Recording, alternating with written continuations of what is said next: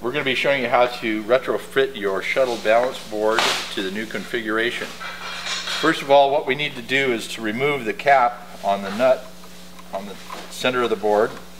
Okay, like so.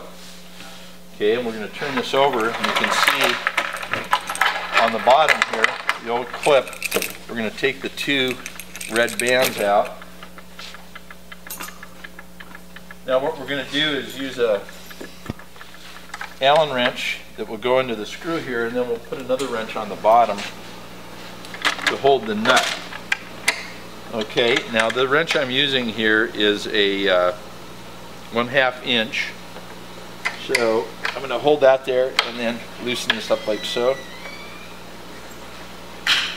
And I'll take the bolt all the way out and we'll use this. Let me pop this off here. This might be kind of tight. There we go. Take it off like that. Like this. Now before we apply the, put the bolt in and tighten it up, we're going to put the arrestor ropes in that come with it. So the knotted end will be pulled through here and pull up like so. Then we're going to take and put this on here. Put our new bolt that comes with the uh, kit in like this. I'm going to, I've got the nut on the bottom. We're going to tighten this up. Again, it's a half inch wrench we'll put on there.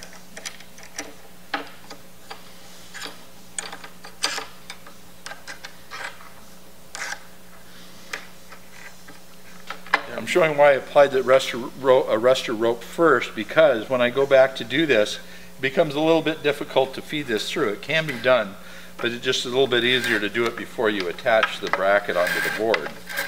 So we have our arrestor ropes through like this and then our red bungee cords simply snap in like so and secure like that and secure like that. So go ahead and put your board back on, hang it on your frame and attach your arrestor ropes and bungee cords and you're good to go. In your arrestor kit there will be two carabiners. One will attach onto the top loop here and the other one will be on the on the rope here. This when you hook it up, this carabiner will attach to the lower part of the frame and this will attach to the new screw eye. Now if your arrestor rope becomes disengaged, I'll show you how to restring this. So the way this goes, this is the proper configuration like this.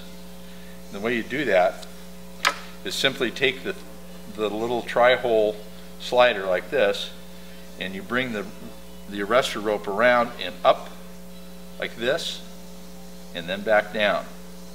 You leave a little pigtail hanging out there. And that will give you your, your arrestor ropes adjustment. And then we'll have our carabiner will clip on here like so, like that. There you go.